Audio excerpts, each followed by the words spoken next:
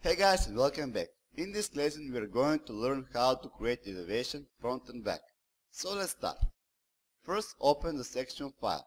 You can see that I have changed this section a little bit and I added some thickness to the walls, hatch and some dimensions. Okay, now let's create the front view. First we are going to drop the front wall. Activate the exterior layer and activate the line command. Now choose the starting point and enter this dimension. 22 feet is 0 degrees. 7 feet with 19 degrees. 22 feet with 180 degrees and close the line. This box now it will represent the front wall. Now let's return to the floor plan. Here we can see that we have one door and one window and that is what we must have in the front view. We can see that the door is 6 feet and 6 inches distance from this wall. This information it must be transferred into the front view. So we are going to measure 6 feet and 6 inches and put the door there in the, that place. It is really important to have the dimensions right.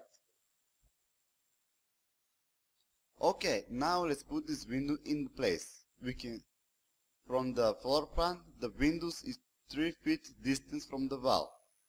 Back to the front view, we measure 3 foot and in my case is going to be 20 inches distance from the ground.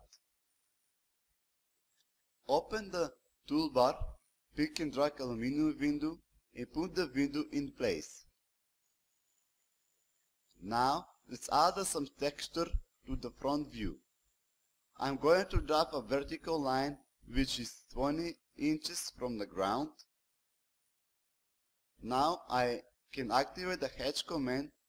I'm going to choose the brick options and add it to my front view. The last step is to drop the roof. First we are going to create a new layer for the roof. After this, activate the line command Pick this spot and drive the line with these dimensions. 10 inches with 0 degrees, 4 foot with 19 degrees, 22 foot and 4 inches with 180 degrees, 4 foot with 2017 degrees, and close the line. Now activate the hatch command, choose the roof brick and add it to the roof side.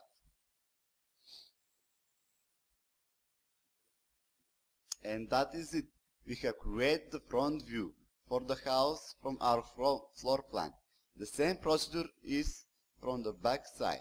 I have this already made and I'm just going to show you how it is going to look.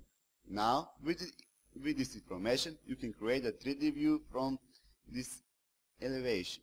Thank you for your attention. Don't forget to subscribe to my YouTube channel, follow me on Twitter and on my blog site.